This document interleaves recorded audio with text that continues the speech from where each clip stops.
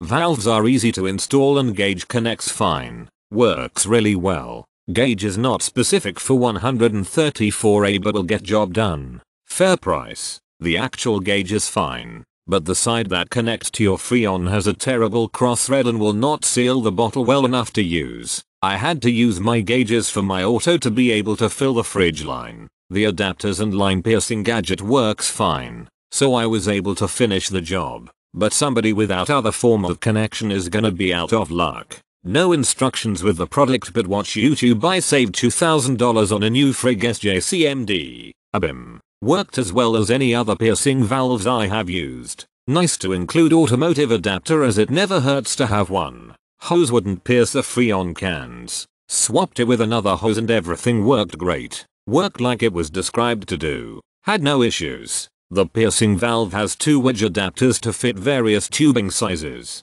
Just watch a few videos online to figure out which line to tap into if you're refilling extracting the refrigerant. The valve that attaches to the Freon can could be better. I had to buy an adapter to make it work. But overall my fridge is working great. No instructions in the box just seem to be leftovers but it worked I wasn't sure about getting this to put Freon in a portable AU but as I have never done it before. I watched some videos on YouTube. And at first I thought it didn't work. But I added a little more and all of a sudden it worked and now my portable air is working good.